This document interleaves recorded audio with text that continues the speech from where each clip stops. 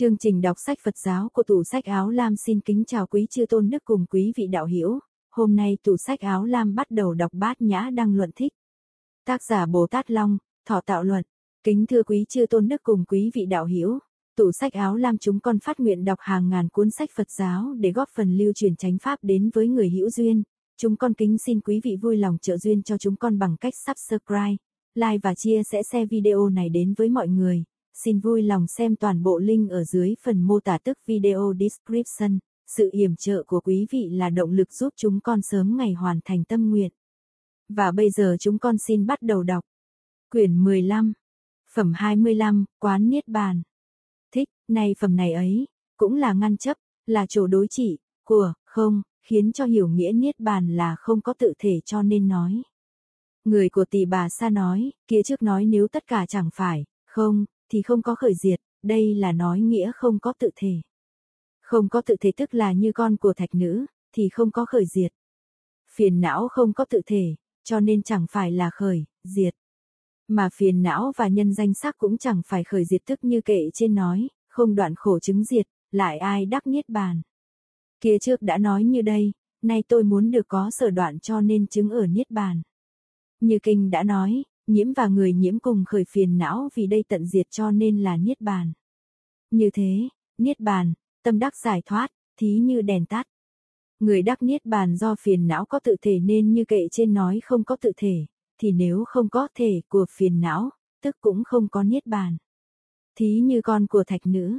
Lại nữa, nếu dùng không có thể, làm nghiệm không đắc niết bàn thì cũng phá nghĩa đắc niết bàn, tức là phá ở pháp thể sai biệt, chính là lỗi kia lập nghĩa xuất nhân.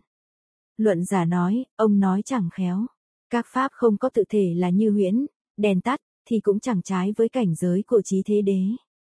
Không có tự thể là từ vô thì nhân duyên triển truyền mà khởi. Như huyễn, như rợn nắng, các hành không khởi, tức là niết bàn. Chứng đắc niết bàn cũng lại như vậy. Không có tự thể, tôi cũng chẳng lập thể của, không có thể ấy nên chẳng phải lỗi lập nghĩa. Bên trên dẫn thạch nữ làm ví dụ thì ở trong đệ nhất nghĩa được thành. Ông chấp có nghĩa tự thể là chẳng có thể hoại nên có sở đoạn là chẳng đúng. Vì thế nên, nếu chẳng thấy lý chân thật mà nói có tự thể thì nghĩa đắc niết bàn không thành, tự thể pháp bị hoại. Sự ấy thế nào? Nghĩa là ông trước nêu nhân, lập nghĩa, thí dụ, ba pháp đều chẳng thành cho nên có lỗi. Lại nữa, người tỷ bà xa nói, như kệ kia nói, nếu tất cả chẳng phải không, thì không có khởi, diệt, không đoạn khổ chứng diệt, lại ai đắc niết bàn. Thì chẳng đúng, tôi nay lập có niết bàn, thế nào là niết bàn? Nghĩa là trong đệ nhất nghĩa các hành có tự thể, đoạn các phiền não và diệt danh sắc mà đắc niết bàn. Chẳng phải như sừng lạc đà, niết bàn chẳng như vậy, vì có, thể có đoạn có diệt có đắc, luận giả nói, như kệ trước nói, nếu tất cả chẳng phải, không, thì không có khởi, diệt, không đoạn không chứng diệt, làm sao đắc niết bàn, tức đây là nói có tự thể, chẳng thể hoại. Cho nên tự thể tức là nếu tự tông nêu nhân lập dụ có tương tự là sở thành thì năng thành tức là có lực. Mà nay không có lực này, nên nghĩa nhân và dụ cũng chẳng thành. Lại cũng trai với nghĩa của ông đã lập trước đó. Nay tôi hỏi ông niết bàn ông lập là đệ nhất nghĩa đế. Là thế đế, nếu muốn được là đệ nhất nghĩa đế, thì tôi nay sẽ trả lời việc đó. Như luận kệ nói, không thối cũng không đắc. Chẳng đoạn cũng chẳng thường. Chẳng sinh cũng chẳng diệt. Nói đây là niết bàn. Thích, đây nói niết bàn như thế là thứ tôi muốn được. Như ông đã nói vì đoạn vì diệt, nên vì nêu ra vân vân. Đoạn các phiền não được niết bàn thì những nghĩa nhân ấy, nay đều chẳng thành. Do tâm điên đảo mà nói như vậy, về nghĩa đều chẳng đúng. Lại nữa, các người chấp có niết bàn, hoặc nói niết bàn là pháp chân thật, hoặc nói niết bàn là pháp được thiết lập. Cả hai đều chẳng như vậy, vì nghĩ ấy cho nên tiếp phải quan sát, như luận kệ nói. Niết bàn có tự thể, tức rơi vào tướng lão, tử. Niết bàn là thể ấy, tức là pháp hữu vi. Thích, đây nói niết bàn có tự thể thì không có nghiệm có thể khiến tin hiểu. Nếu khiến niết bàn có, thể tức rơi vào tướng lão tử. Vì sao vậy? Vì không có thể, nào lìa tướng lão tử, cũng không có tướng lão tướng tử nào lìa, thể. Người tiểu thừa chẳng muốn niết bàn có tướng lão tử, vì thế nên, như tôi đưa ra nghiệm, trong đệ nhất nghĩa niết bàn chẳng phải là, thể, vì không có tướng lão tử. Thí như con thạch nữ, do đó tông của ông nêu nghĩa nhân không thành, nhân không thành cho nên cũng cùng tránh nghĩa mâu thuẫn. Lại nữa, nay lại cùng. Lỗi, nếu ông chẳng muốn niết bàn là hữu vi mà muốn được niết bàn là vô vi thì chẳng đúng. Vì không có một chỗ nào có một vật là thể lại là vô vi. Nay sẽ lập nghiệm, niết bàn chẳng phải là thể vô vi. Thí như không hoa, lại nữa, lại nói lỗi ấy, như luận kệ nói. Niết bàn nếu có thể. Vì sao là không nhân? Cũng không có một pháp. Lìa nhân mà được có. Thích, đây nói, thể, là đều nhờ nhân mà được có thiết lập. Niết bàn là thể thì chẳng được không nhân. Vì thế cho nên, trong đây nêu ra nghiệm, niết bàn chẳng phải là, thể, thì không có nhân có thể thiết lập. Thí như sừng thỏ, người của Đạt Ma La Bạt, Xích Đông Diệp Bộ và Tu Đa La cùng nói như tỷ bà Sa Sư nói, niết bàn như đèn tắt. Tôi này nói niết bàn chỉ là không có khởi. Ở trong thế đế thiết lập có khởi, cho nên chủ tôi lập về nghĩa tương ưng. Luận giả nói, nay trả lời việc này, như luận kệ nói. Niết bàn chẳng phải, thể. Vì sao là không có, thể. Như niết bàn không có, thể. Vì sao là không có nhân. Thích, người tỷ bà xa phân biệt niết bàn là đệ nhất nghĩa thiện, lấy dứt phiền não làm nhân. Này nghĩa của ông chẳng phải, thể, như thế, mà nói niết bàn không có thể tức là không thiện chăng? Nghĩa đều chẳng đúng, thí như không hoa, nếu nói niết bàn không có thật, không có tự thể thì tức không có. Như vậy, nghiệm có thể khiến hiểu rõ niết bàn chẳng phải không có, thể thì cách nói của ông khó khiến cho người hiểu. Lại nữa, tỷ bà sa phân biệt niết bàn có, thể, ở trước không, thể, ở sau. Lấy đèn làm thí dụ tức đây là hiển bày trồ hiểu biết của thế gian, do khi đèn chưa tắt là có, thể, khi tắt rồi là không có, thể. Nếu ông chấp không có, thể, đồng với đèn kia đã tắt rồi thì như trước kệ nói, như niết bàn không có, thể, vì sao là không có nhân. Đây nghĩa là như đèn không có, thể, mà có nhân thiết lập làm đèn. Như thế, các ấm phiền não không có, thể, mà có nhân thiết lập làm niết bàn. Như luận kệ nói, niết bàn chẳng phải không có, thể, mà chẳng nương nơi ấm như không nhân, không duyên. Đó gọi là niết bàn. Thích, như ông đã nói niết bàn không có, thể, là đệ nhất nghĩa, vì thế nên, nhân có tướng qua lại lưu truyền mà thiết lập có sinh tử, niết bàn, có, thể, không, thể, là vốn nói trong thế đế, chẳng phải đệ nhất nghĩa. Như luận kệ nói, đại sư đã thuyết ấy. Đoạn có, đoạn, chẳng có. Thế nên biết niết bàn. Chẳng, không, cũng chẳng, có thích như kinh nói, hoặc có người dùng, có, cầu ra, có, hoặc có người chẳng dùng, có, cầu ra, có, ấy đều chẳng đúng. Hoặc nói niết bàn là thể thì chẳng đúng. Độc tử bộ nói, tôi nay lập niết bàn không đồng với thuyết kia mà là nghĩa có, thể ấy, có chẳng phải, thể, vì hai nghĩa có, cho nên không như lỗi trên. Nghĩa ấy nên như vậy. Luận giả nói, nghĩa ông đã lập ấy, chẳng đúng. Như luận kệ nói, hoặc ông nói niết bàn. Là thể là chẳng phải thể. Niết bàn là thể ấy. Giải thoát thì chẳng đúng. Thích, đây nói, thể, và chẳng phải, thể cháu nhau. Nếu là, thể tức chẳng phải, chẳng phải thể, nếu là, chẳng phải thể tức chẳng là thể. Nếu đối đãi nhau thì có tưởng, thể chẳng phải, thể. Nói như thế thì nghĩa chẳng tương ưng. Vì sao vậy? Vì có lỗi phân biệt chấp trước. Độc tử bộ nói, Niết bàn thế nào là chẳng phải thể. Nghĩa là thân và các căn không có, thể, nên gọi là chẳng phải, thể. Thế nào là thể? Nghĩa là có rốt giáo vô thượng lạc nên gọi là thể. Luận giả nói, lời nói này chẳng khéo. Thân, các căn và giác vân vân, đã ngăn, cho nên cũng tức là ngăn không có khởi rốt giáo vô thượng lạc là như ngăn hữu vi khởi, cũng ngăn lạc kia. Nếu muốn dùng vô vi lạc khiến mọi người hiểu thì không có nghiệm thể này. Chỗ lập của ông về nghĩa chẳng tương ưng. Lại nữa, nếu nói niết bàn có tự thể thì như luận kệ nói. Nếu ông nói niết bàn, hai đều có tự thể. Niết bàn là vô vi, hai thể là hữu vi. Thích, kệ này hiển bày nghĩa gì chăng? Nghĩa là hiển bày ngoài, thể, chẳng phải, thể, ngoài riêng tướng niết bàn. Hoặc pháp kia cùng pháp này có tướng riêng mà là pháp thể thì chẳng đúng. Thí như nước và lửa. Như vậy, thể, chẳng phải, thể, là tướng niết bàn thì. Chẳng đúng, lại nữa, người tu đa la nói, niết bàn là chẳng phải, thể, chẳng phải, chẳng phải thể, nên đều không thể nói. Kia vừa nói có lỗi hai thể và hữu vi thì chẳng đúng. Luận giả nói, cũng không có việc ấy. Này đáp lời này, như luận kệ nói. Nếu ông nói niết bàn, chẳng phải, thể, chẳng phải, chẳng phải thể. Thể chẳng phải, thể, nếu thành.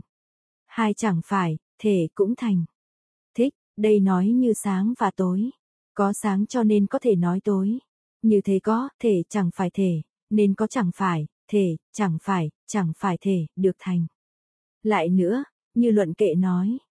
Chẳng phải, thể, chẳng phải, chẳng phải thể. Nếu là niết bàn ấy.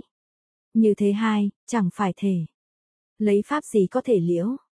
Thích, đây nói nếu nói dùng trí năng liễu thì trí này trước đã ngăn. Như luận kệ nói. Như lai sau khi diệt độ. Chẳng nói có và không. Cũng chẳng nói có không. Chẳng có và chẳng không. Như lai đời hiện tại. Chẳng nói có và không. Cũng chẳng nói có không. Chẳng có và chẳng không. Thích, đây nói trong thân có thần, thần và thân là một. Thần và thân khác, lìa thân có thần, tức thân là thần. Trong các sự không ghi nhận đều không nói. Cho nên trong đệ nhất nghĩa niết bàn chẳng thành. Ông nêu nhân nghĩa cũng chẳng thành. Lỗi ấy ở ông, người tỳ bà xa lại nói, trong đệ nhất nghĩa có niết bàn. Người sợ hãi vì cầu niết bàn cho nên khởi siêng năng tinh tấn. Chẳng hề thấy có người cầu để được không có pháp nên khởi siêng năng tinh tấn. Luận giả nói, như trong tông của tôi chẳng thấy có người đắc niết bàn kia. Trong đệ nhất nghĩa sinh tử và niết bàn đều không sai biệt. Như luận kệ nói, sinh tử biên, niết bàn, không có chút sai biệt. Niết bàn biên sinh tử, cũng không chút sai biệt. Thích, đây nói sinh tử, niết bàn đồng nghĩa không có gì là được. Hai thứ ấy đều có, cũng chẳng thể có được, cũng như tánh phân biệt không có nên sinh tử, niết bàn đều chẳng thể có được. Đã khiến cho tin hiểu, thế nên như ông đã nói vì đắc niết bàn mà khởi tinh tấn làm nhân thì nghĩa đó không thành. Cũng trái đối với nghĩa, này lấy niết bàn, sinh tử khiến cho hiểu rõ, như luận kệ nói. Bờ sinh tử, niết bàn. Bờ niết bàn, sinh tử. Ở khoảng giữa hai đây. Không chấp nhận ít pháp, thích, Niết Bàn là tên khác của chân như, Pháp giới, không. Chân như không có riêng khác, thí như hư không, tuy vẫn có phương mà tướng không khác.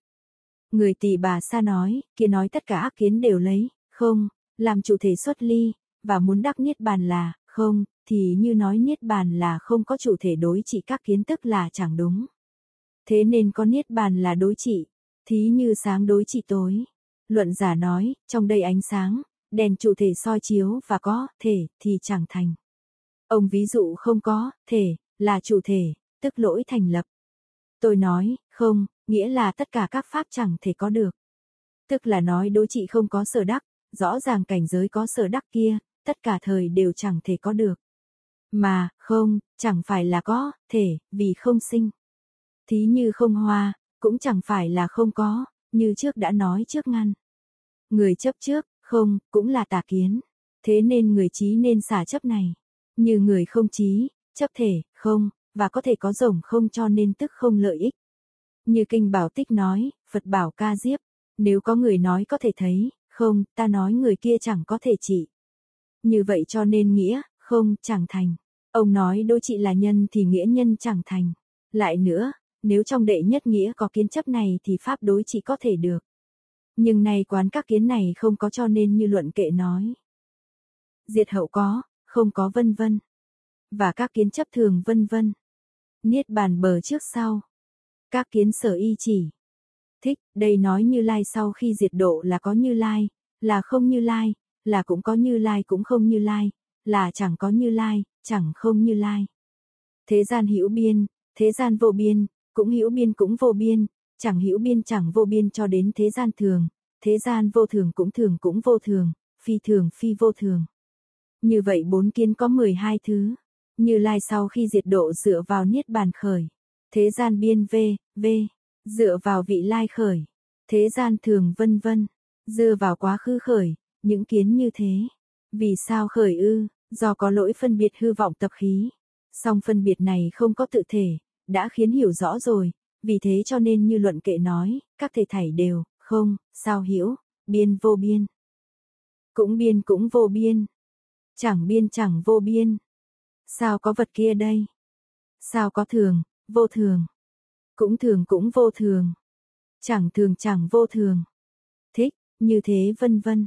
Phân biệt cảnh giới vốn y chỉ vào là không có, thể kia y chỉ không có, thể, nên tâm phân biệt cũng không có, thể.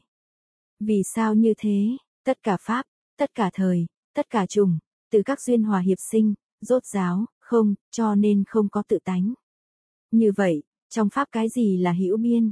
Ai là hữu biên cũng biên, vô biên, chẳng phải biên vô biên. Cho đến cái gì là thân? Ai là hữu thân? Thân một thần một, thân khác thần khác. 62 kiến chấp như thế ở trong rốt giáo, không, đều chẳng thể có được. Vì thế nên, như trong tu Đa La, kệ nói, sở phân biệt đã không, phân biệt chỗ nào khởi, năng phân biệt đã diệt, sở phân biệt cũng mất. Luận từ đầu đến nay tìm cầu các pháp, có cũng không, có, không có, cũng không có, cũng có cũng không, cũng không có, chẳng phải có, chẳng phải không, cũng không có, đó gọi là tánh, không, bình đẳng thật tướng của các pháp, diệt các hí luận được đạo an ổn. Nếu dựa trong thế đế nêu ra nhân thì đã như lỗi trước nói. Người tu Đa La nói, trong đệ nhất nghĩa có niết bàn. Phật vì khiến chúng sinh chứng đắc cho nên quán căn, quán tâm, quán pháp, quán thời, quán phương mà vì thuyết pháp. Nếu không có niết bàn thì Phật chẳng nên thuyết pháp này. Cho đến thuyết tám vạn bốn ngàn các hành phiền não và môn đối trị. Vì đắc niết bàn mà có sở thuyết, cho nên có niết bàn. Luận giả nói, như trong đệ nhất nghĩa dùng thuyết pháp làm nhân. Ông muốn được như vậy chăng? Như luận kệ nói, có sở đắc đều dứt.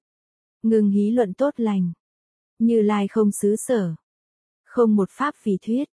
Thích, có sở đắc đều dứt nghĩa là cảnh giới của, có sở đắc, không có, thể, nên tâm, có sở đắc cũng không có, thể. Lại nữa, cảnh giới có sở đắc không có làm thì tâm có sở đắc cũng không thể khởi. Như thế tất cả có sở đắc đều chấm dứt. Ngừng hí luận nghĩa là cảnh giới, có sở đắc, không có, thể. Tướng ngôn thuyết của cảnh giới kia cũng chẳng khởi. Vì thế nên gọi là ngưng hí luận. Cát tường nghĩa là tất cả tai ương thảy đều không có, thể, gọi là cát tường. Do chỗ khởi tánh phân biệt kia tất cả pháp không thành và tất cả pháp không thể nói. Trong đệ nhất nghĩa dùng thuyết pháp làm nhân ấy, như kệ trên nói, như lai không xứ sở, không một pháp vì thuyết. Lại nữa, nhân tự giác ngộ pháp chân thật sở đắc là không thể ngôn thuyết, rõ ràng ngôn thuyết này là đồng phân biệt cảnh giới cho nên pháp chân thật sở chứng cũng là không thể ngôn thuyết. Như kệ trên nói, như lai không xứ sở, không một pháp vì thuyết. Lại nữa, như lai thuyết pháp là nghĩa thế nào? Tức vì thâu nhiếp các hữu nên vô lượng ngàn kiếp tích tập tụ phước trí. Thân Phật từ tụ phước trí này sinh, thí như ngọc như ý, thảy đều có thể hiển hiện tất cả sắc tượng.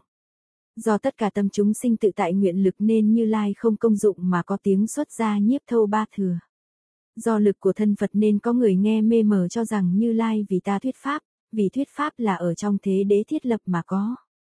Lại nữa, ấm chẳng phải Như Lai, lìa ấm cũng không Như Lai.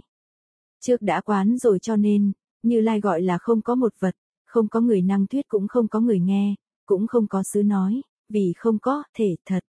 Như kệ trên nói, như Lai không xứ sở, không một pháp vì thuyết.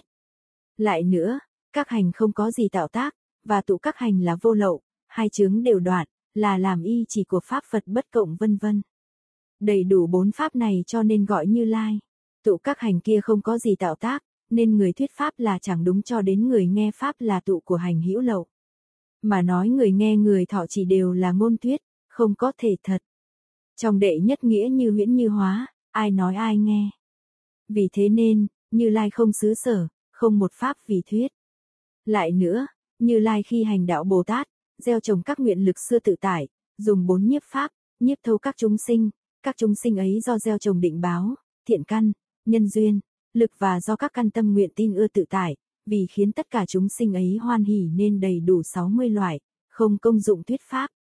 Âm thanh dựa vào Như Lai mà khởi, nhưng Như Lai thường ở định, tâm không có sở tác của công dụng lực không có, thể của giác quán mà nói có âm thanh phát ra đều chẳng đúng. Vì như thế nên, Như Lai không xứ sở, không một pháp vì thuyết.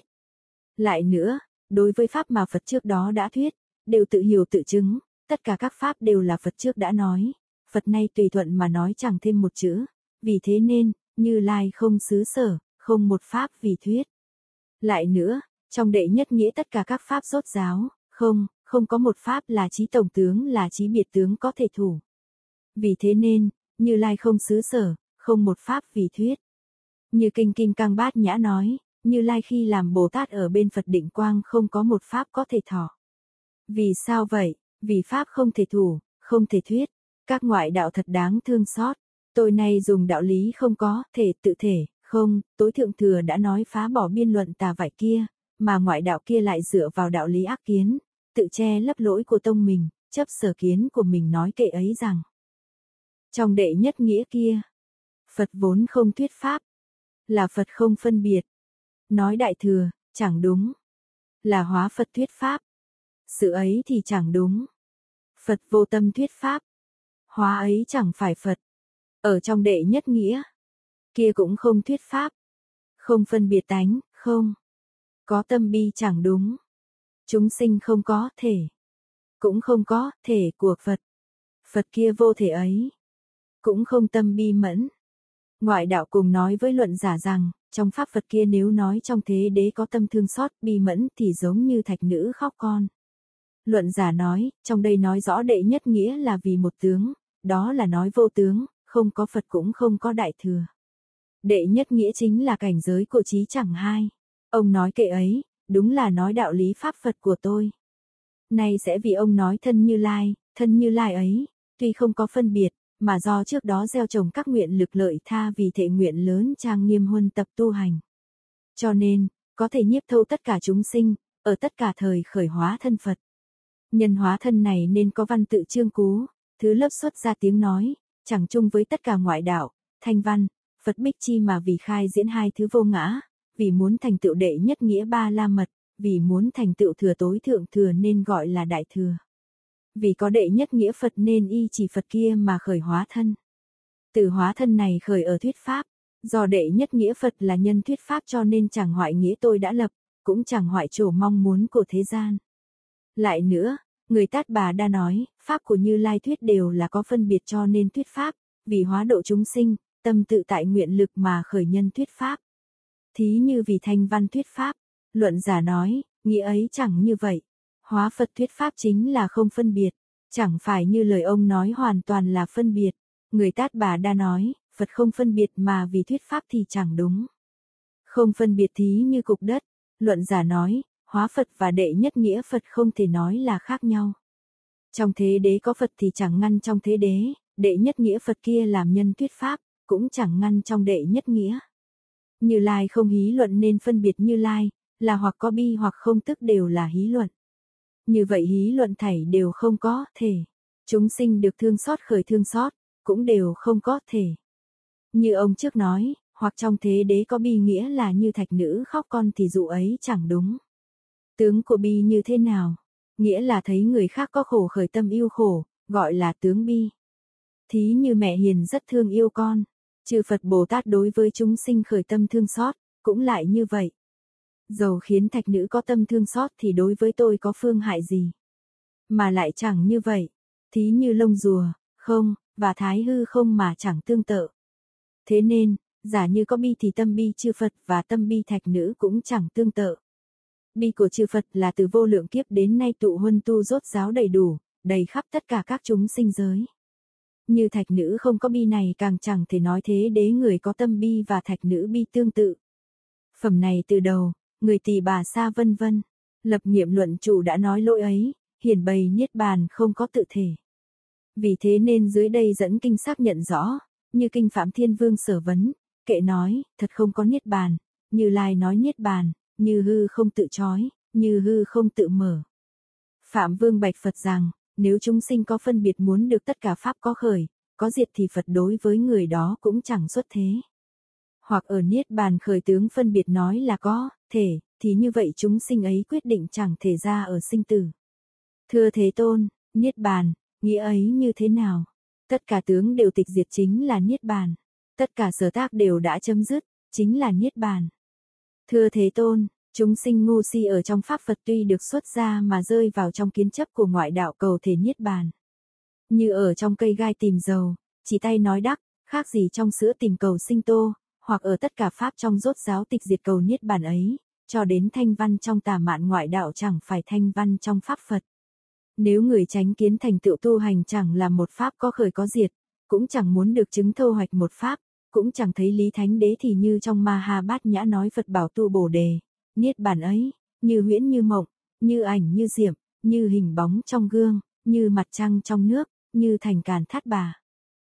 Phẩm 26, Quán Thế Đế Duyên Khởi Thích, này phẩm này, cũng là ngăn chấp, là chỗ đối trị của, không, mà vì thế đế duyên khởi cho nên nói. Người của tự bộ nói với tôi rằng, kia trước nói, như lai không xứ sở, không một pháp vì thuyết, nghĩa ấy chẳng như vậy. Luận giả nói, tôi nay sẽ vì nói, như lai vì muốn tất cả ngoại đạo và người trời chúng sinh sợ hãi kia khiến dứt các tai họa về ác kiến cho nên nói pháp duyên khởi. Phật do giác ngộ rõ pháp duyên khởi cho nên danh xưng cao xa khắp tất cả thế gian. Vì nhân duyên ấy nên gọi là Phật, ông này cùng pháp duyên khởi pháp tạo lỗi tức tự mình mong muốn trái khuấy. Như luận kệ nói, do vô minh ngăn che, tạo tác ba thứ kia, các hành nghiệp hữu sau, do đây chú các thú. Thích, đối tượng đối trị của mình gọi là vô minh, mà vô minh này có thể ngăn che trí tuệ của chúng sinh, tạo tác các hành của hữu sau. Thế nào là hữu sau? Nghĩa là chưa thọ sinh cùng nhân quả hòa hợp chẳng rời nhau, cùng đi đến hướng tới đời sau, gọi là hữu sau. Sao gọi là các hành? Hành có ba thứ, một nghĩa là pháp vô ngã, hai nghĩa là sát na, ba nghĩa là ba loại nghiệp. Sao gọi là ba nghiệp? Nghĩa là phước, phi phước, bất động lại có ba thứ, nghĩa là thân, ngữ, ý. Vô minh, chẳng phải chỉ riêng làm duyên của các hành mà cũng có thể cho thức chi sau lần lượt làm duyên. Thể cũng chẳng phải riêng vô minh ngăn che chúng sinh, mà còn có các phiền não hành khác nghĩa là tạo tác pháp hữu vi, cho nên gọi là hành.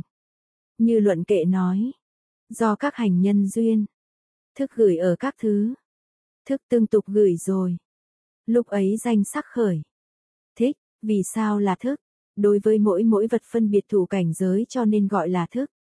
Gửi là nói sinh, hành duyên ấy, nghĩa là hành cho thức làm duyên cho nên gọi hành duyên, cũng chẳng phải riêng các hành cho thức làm duyên, mà thức ấy khi sinh cũng có các tâm số pháp cộng sinh, thế nên cũng dùng các tâm số pháp làm duyên.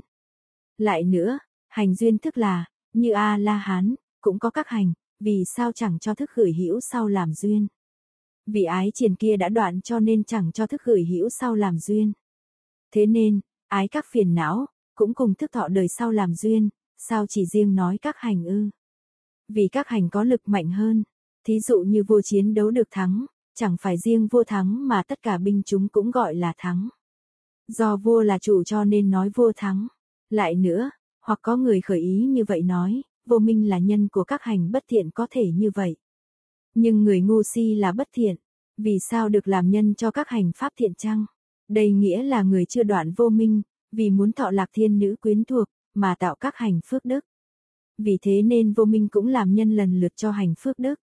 Lại nữa, sinh tử, là đệ nhất nghĩa bất thiện sở hữu các hành phước đức. Giảng buộc thuộc sinh tử gọi là bất thiện, vì thế nên vô minh có thể tổng làm duyên cho các hành. Lại nữa, thiện thú, bất thiện thú, bất động thú, ba thứ nghiệp ấy, đều có thượng trung hạ sai biệt. Các hành ấy gọi là nghiệp đi đến các thú. Nghĩa đi đến các thú ấy, các sư đều chấp bất đồng. Như người tát bà đã nói có trung ấm kia, vì có danh sắc tương tục, đi đến gửi ở chỗ sinh. Người tránh lượng bộ, người đàm vỗ uất đa bộ đều nói không có trung ấm kia, chỉ lấy hành làm duyên, mà thức được khởi. Lúc bấy giờ gọi là gửi sinh. Lại nữa, người chấp có trung ấm nói, các chúng sinh hữu sắc ở một chỗ diệt, chúng sinh hữu sắc ấy trở lại tương tục sinh, vô gián trước sau khởi đến thú khác kia, gọi là thác sinh. Vì tương tục tùy sinh, nên thí như đèn. Vì thế nên danh sắc y chỉ ấm mà có tương tục từ sát na tử đến sát na thọ sinh vô gián sinh, gọi là thọ sinh. Thí như hiện tại người từ đây đến kia. Lại nữa, người chấp không có trung ấm nói, tử hữu và sinh hữu của cõi sắc, trung gian hai hữu này lại không có trung hữu, vì hữu lậu. Thí như tử hữu, sinh hữu của cõi vô sắc mà không có trung hữu. Vì sao vậy? Tử hữu trung gian có thân khởi tức chẳng phải là trung ấm.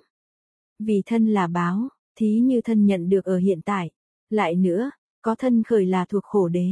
Thí như dùng, thể của ý làm thân, đi đến chỗ khác.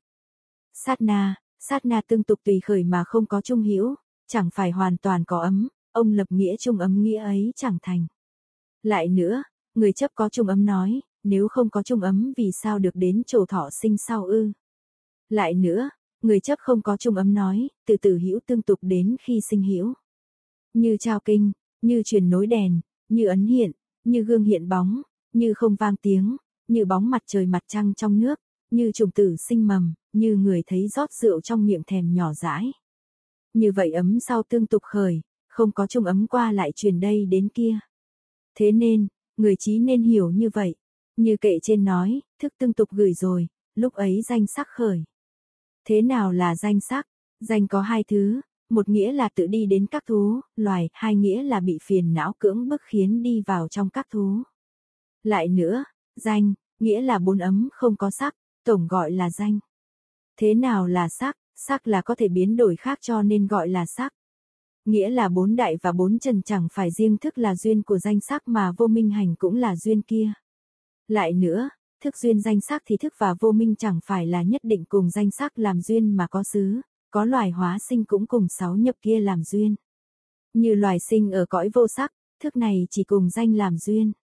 Như luận kệ nói, từ ở, thể, danh sắc, thứ lớp khởi sáu nhập, tình trần cùng hòa hiệp, mà khởi ở sáu xúc.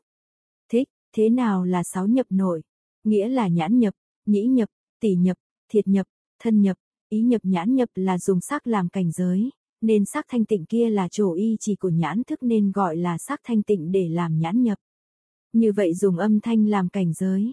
Sắc thanh tịnh kia, là chỗ y chỉ của nhĩ thức nên gọi là thanh tịnh làm nhĩ nhập. Ý nhập là vô gián thư lấp diệt làm ý nhập kia. Vì sao là nhập, nghĩa là thức và tâm tâm sở pháp từ trong thanh tịnh sắc khởi, gọi là nhập. Vì sao gọi là xúc nghĩa là cùng khổ tho, lạc, thọ, bất khổ bất lạc thọ mỗi thứ, hòa hiệp cho nên gọi là xúc.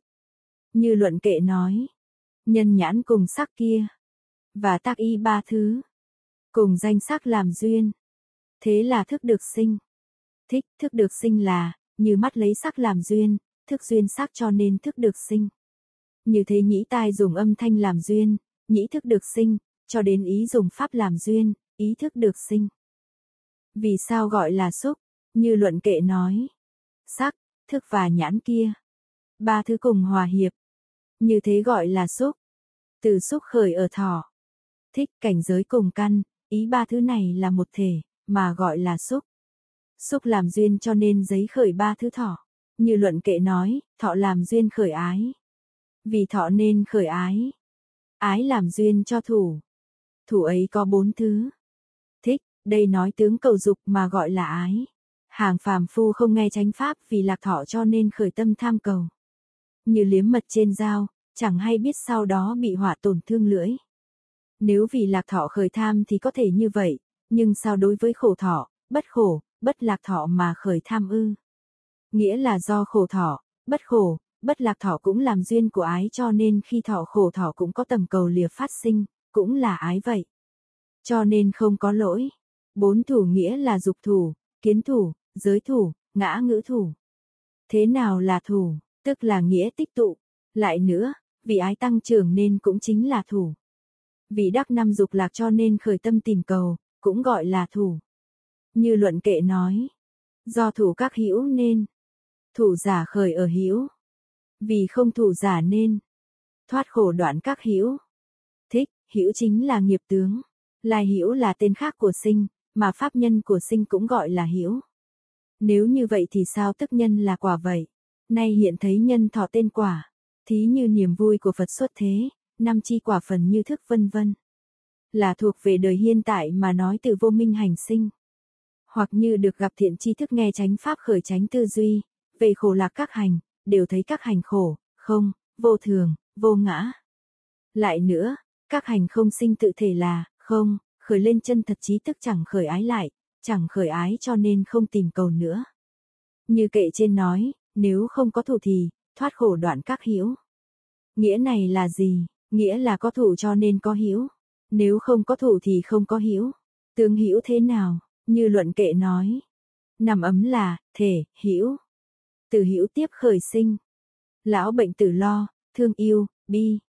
Buồn khóc sầu các khổ. Thích, đây nói cũng cho nhân năm ấm là thể của chi hữu Lại nữa, nhân năm ấm gọi là hữu tức chẳng phải riêng nhân năm ấm gọi là hữu mà nhân bốn ấm của cõi vô sắc cũng gọi là hữu Sinh nghĩa là trước không có, thể ấm nay có ấm khởi. Lão nghĩa là tướng biến hoại, tử nghĩa là không có, thể ấm.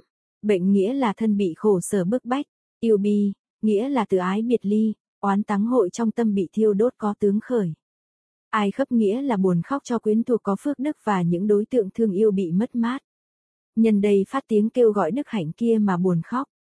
Khổ nghĩa là thân thỏ, sầu nghĩa là tâm thỏ, lao quyện ấy nghĩa là thân tâm rất mỏi mệt. Như thế rộng nói sinh đều gọi là khổ ấy vì sao? Như luận kệ nói, sầu và mệt mỏi kia, đều do sinh làm nhân. Riêng khổ ấm này khởi, rốt giáo không tướng vui.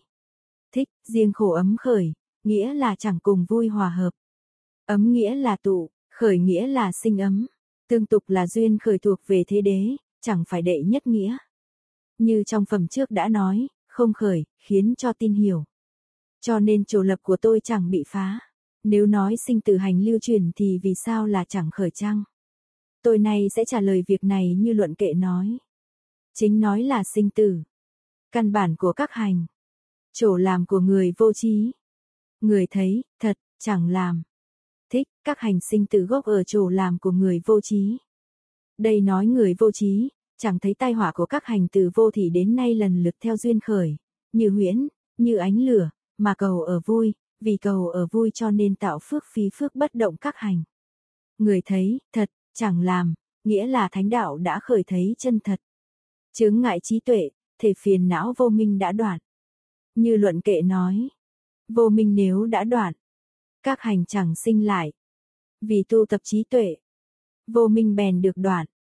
Thích, đây nói các hành chẳng sinh vì khuyết ở duyên, như trùng tử không có, thể, cho nên mầm tức chẳng sinh. Nay tu tập trí gì được đoạn vô minh, như trung luận đây vốn nói về trí tuệ duyên khởi soi tỏ ngăn chấp. Tất cả các thể có tự thể, hiểu rõ người và pháp cảnh giới của cả hai vô ngã. Người tu trí, không, nghĩa là luôn luôn tu tập. Như luận kệ nói, mỗi một chi diệt ấy, chi kia kia chẳng khởi. Chỉ riêng khổ ấm tụ, gọi là tránh vĩnh diệt. Đây nói hành khởi đạo đối trị với mỗi một chi hữu tức diệt các chi hữu này chẳng khởi lại nữa. Do hành diệt, hành diệt nên thức diệt, cho đến sinh lão tử yêu bi diệt. Chỉ riêng khổ ấm chính là vĩnh viễn diệt đó, là thuộc về thế đế. Hoặc trong đệ nhất nghĩa là vô minh không khởi không diệt. Vì sao lại còn gọi duyên khởi chăng? Phật dựa vào thế đế cho nên nói đệ nhất nghĩa, nghĩa của tôi như vậy, như trước kệ nói, chẳng y ở thế đế, chẳng thể nói đệ nhất. Vì thế, cho nên chẳng thể phá hoại nghĩa của tôi đã lập. Phẩm này ở đầu, người tự bộ nói tôi rằng, lập nghĩa có lỗi, thì nay nói không có lỗi này. Mà dùng duyên khởi thế đế khiến mỗi người tin hiểu chính ý nghĩa phẩm đây.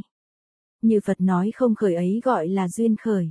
Đây nói chẳng khởi là nói về duyên khởi. Nếu kia không khởi làm sao có diệt. Nếu có thể với không diệt mà giác ngộ rõ về không diệt đó gọi là hiểu rõ pháp duyên khởi. Phẩm 27, Quán tà kiến. Thích, nay phẩm này, cũng là ngăn chấp là chỗ đối trị của, không, khiến cho hiểu rõ các kiến, là, không, cho nên nói. Người của tự bộ nói, có tự thể năm thủ ấm, là kiến xứ. Ấm nếu là không có mà là kiến xứ thì chẳng như vậy. Năm ấm là kiến xứ thì như trong luận câu xa nói, năm ấm kia ấy là khổ là tập là thế gian là kiến xứ. Như thị đẳng là những thứ như thế la hiểu.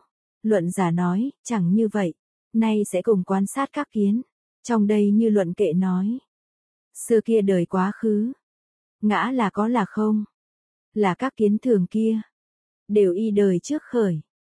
Thích, đây nói ngã ở quá khứ. Là có là không có. Là cũng có cũng không có là chẳng phải có chẳng phải không có các kiến như vậy là dựa vào đời quá khứ khởi. Thế gian là thường thế gian là vô thường cũng thường cũng vô thường, chẳng phải thường chẳng phải vô thường bốn kiến này nhân đối đãi với ấm của đời hiện tại cho nên nói ấy đời quá khứ thường các kiến, đều y đây khởi. Y nghĩa là duyên, vì ai duyên, nghĩa là các kiến duyên. Kiến có nghĩa gì? Nghĩa là chấp trước ở như luận kệ nói. Lại có các kiến khác. Chấp vị lai chẳng khởi. Các biên vị lai khởi. Đều y vị lai khởi. Thích, các kiến này y đời quá khứ khởi, thế gian hữu biên thế gian vô biên cũng hữu biên cũng vô biên chẳng phải hữu biên chẳng phải vô biên bốn kiến. Nhân ấm hiện tại nên ấm, vị lai sẽ khởi gọi là biên sau. Nay tạm quan sát y chỉ vào đời trước khởi các kiến. Như luận kệ nói, đời quá khứ có ngã. Việc ấy chẳng như vậy. Chúng sinh đời trước kia, chẳng phải là đời nay. Thích, vì sao chẳng như vậy? Nghĩa là vì thời khác, vì do nghiệp khác đã sinh. Thí như chúng sinh khác, lại nữa, thân và các căn cũng khác. Nếu nói căn tuy khác mà ngã là một thì, đây cũng chẳng như vậy. Như luận kệ nói, trở lại là ngã xưa ấy. Chỉ là thủ tự thể. Nếu lìa các thủ kia, lại có ngã gì chăng? Thích, đây nói như ngã của đề bà đạt đa đời quá khứ trở lại là ngã ngày nay thì chẳng đúng. Vì thủ riêng, thí như ngã của gia nhã đạt đa. Vì thế cho nên, sinh đời trước trở lại là sinh đời nay thì chẳng đúng. Lại nữa, nếu muốn được tướng ngã khác tướng thủ thì như kệ trên nói, nếu lìa ở các thủ, lại có ngã gì chăng? Không có ngã như thế nên lìa ấm có ngã, trước đã rộng ngăn.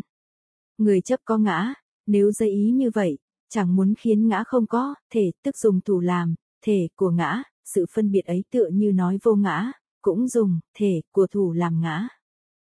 Như luận kệ nói, nếu thủ là ngã ấy, chỗ nào lại có ngã? Do thủ khởi, diệt ấy. Làm sao là thủ giả? Thích, trong đệ nhất nghĩa, thủ chẳng phải là ngã, thủ có pháp khởi diệt hai thế trước đã nói vô ngã, khiến tin hiểu.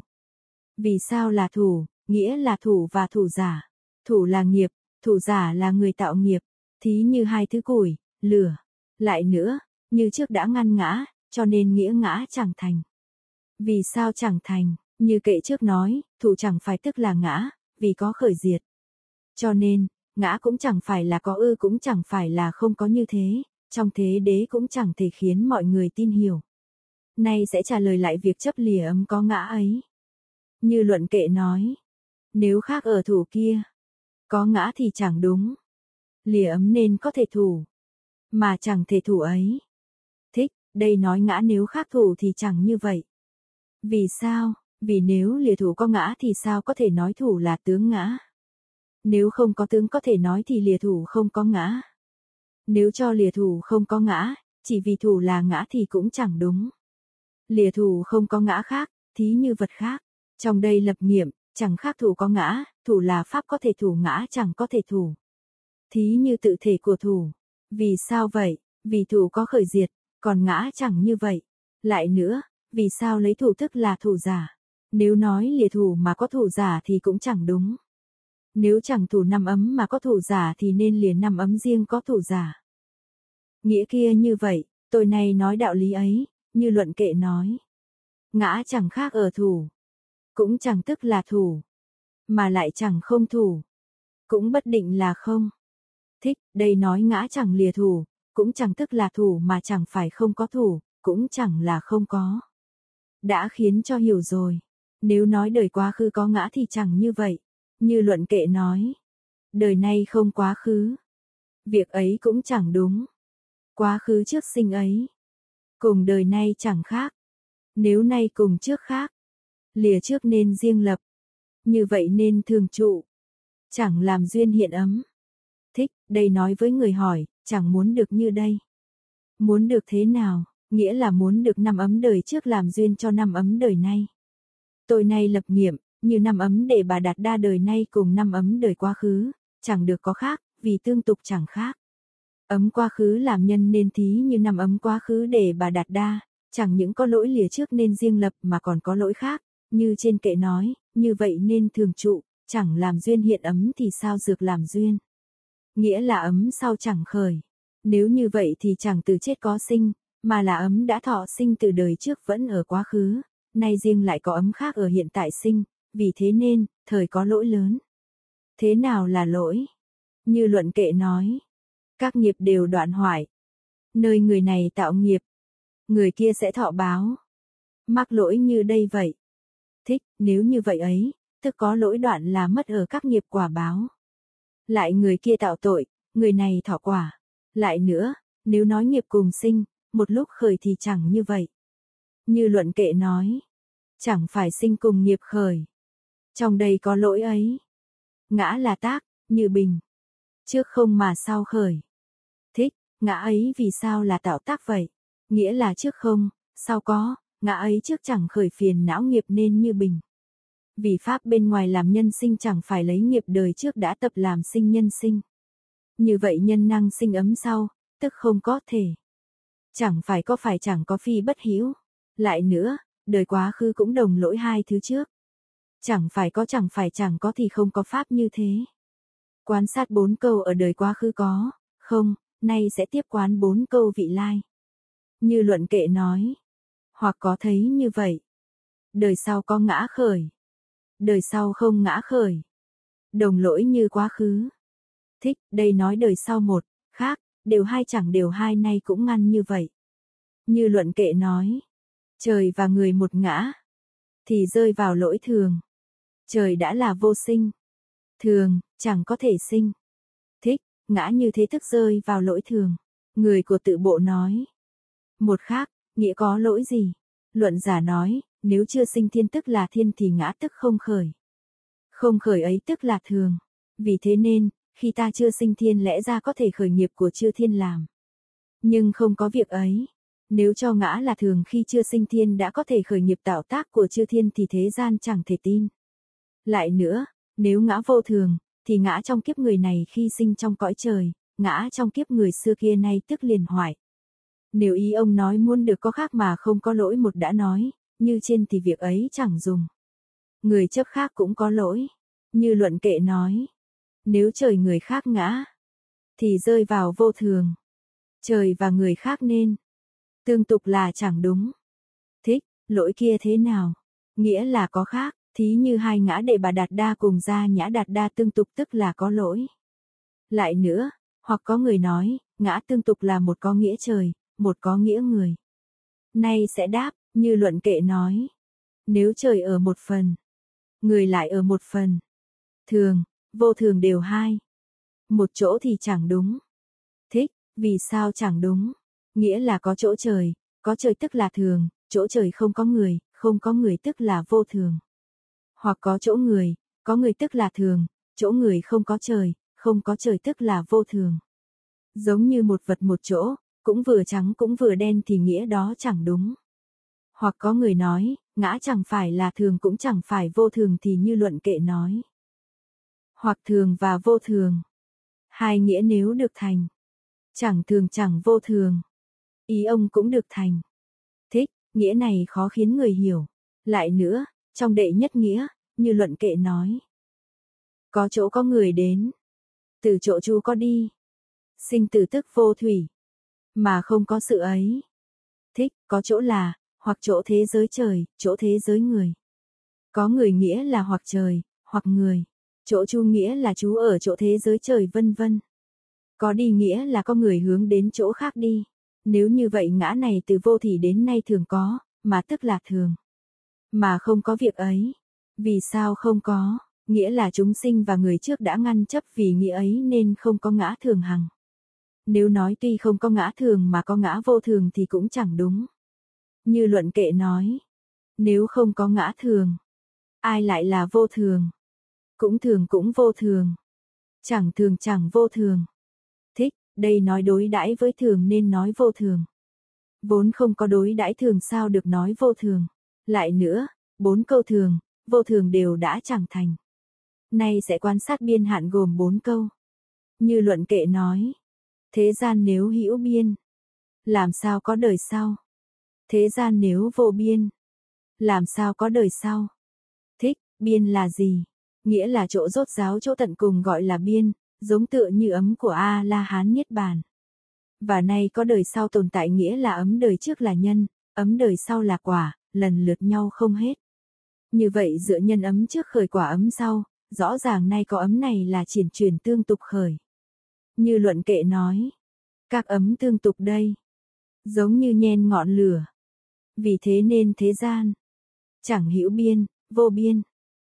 Trong đây lập nghiệm, có vô minh phiền não chưa hết, các ấm tương tục chẳng đoạn, ấm này có quả. Thí như ánh lửa đèn tương tục, vì thế nên thế gian hữu biên thì chẳng đúng. Đây tương tự như quả khởi chẳng hoại tức chẳng phải ấm trước chẳng hoại mà có quả sau. Thí như ánh lửa ở trước đèn. Thế nên, thế gian vô biên cũng chẳng đúng. Nghĩa như nghiệm đã nói, tức phải như luận kệ nói. Ấm đời trước đã hoại. Ấm đời sau riêng khởi. Tức chẳng nhân ấm trước. Đó gọi là hữu biên. Thích, đây nói ấm trước khởi rồi liền diệt, chẳng làm nhân của ấm sau tương tục, tức là hữu biên. Như luận kệ nói, nếu ấm trước chẳng hoại, ấm đời sau chẳng khởi, tức chẳng nhân ấm trước, mà tức là vô biên. Thích, thế nào là vô biên? Nghĩa là tất cả thời thường trú. Nghĩa ấy chẳng đúng, như luận kệ nói. Một phần là hữu biên, một phần là vô biên. Lìa biên hữu, vô kia. Lại không có biên đều cả hai. Thích, đây nói bốn câu về không có biên cuối cùng của thế gian. Vì sao như thế, như luận kệ nói. Làm sao một thủ giả chủ thể chấp thủ? Một phần là hữu hoại, một phần là vô hoại. Như thế là chẳng đúng.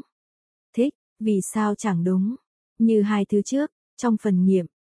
Không thì dụ về đèn đã phá nên là chẳng đúng. Như luận, kệ nói. Hữu biên và vô biên. Nếu hai ấy được thành, chẳng biên hữu, biên vô. Nghĩa ấy cũng được thành.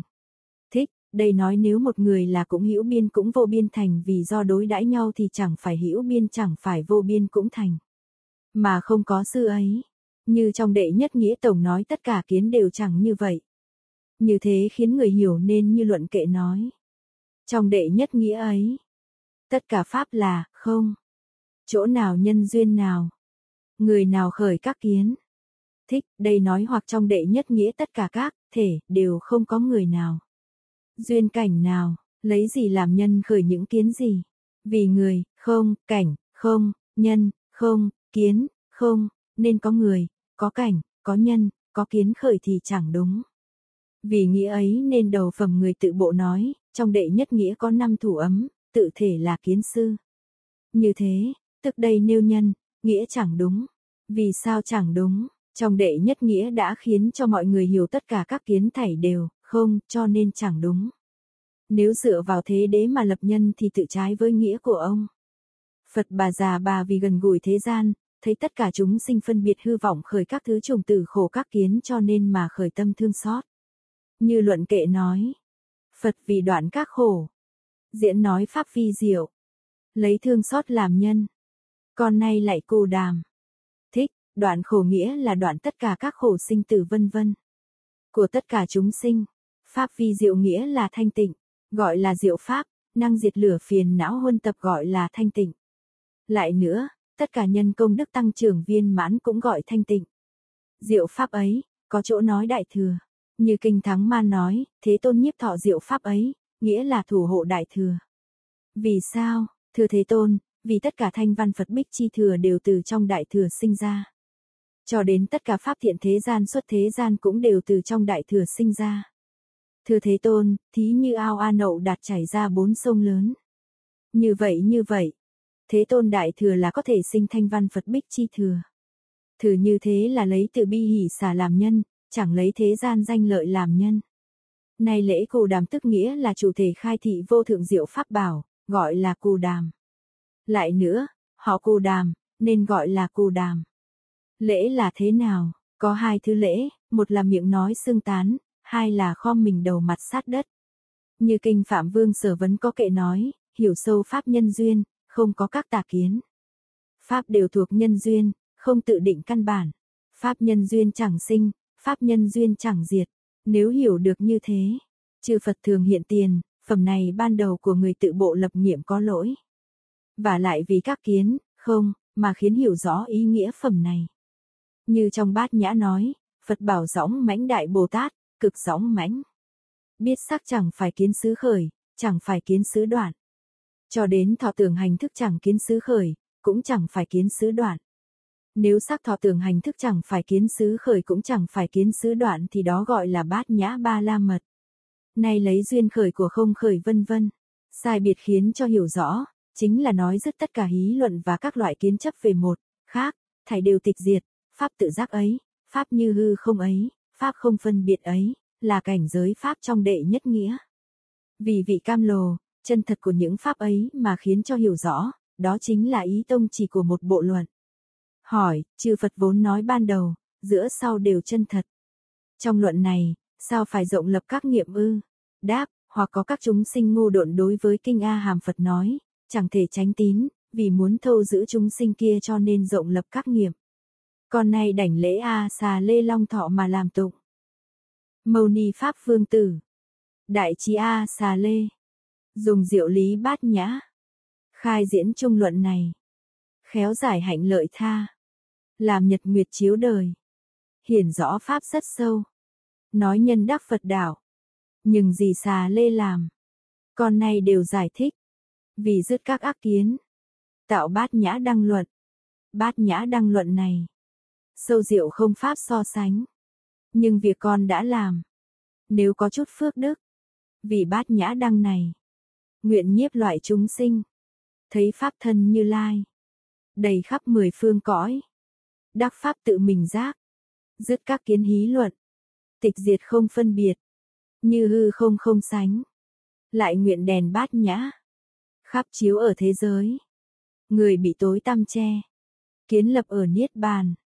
Tất cả luận về, đến bờ giác ngộ, là luận về trí tuệ sâu lớn, là nương ở Đại Thừa, Đại Bồ Tát phân biệt chiếu minh, tạo giải thích phần trường hàng của trung luận này xong, bèn phát nguyện rằng. Nguyện đem một niệm thiện, tùy hỷ hồi hướng chung, cùng tất cả chúng sinh. Mạng chung thấy di lạc Tủ sách áo lam chúng con xin chân thành cảm ơn quý vị đã nghe hết quyển 15, bát nhã đăng luận thích. Xin đừng quên trợ duyên cho chúng con bằng cách subscribe, like và share video này đến bạn bè và gia đình nhé. Hẹn gặp lại vào quyển sách mới.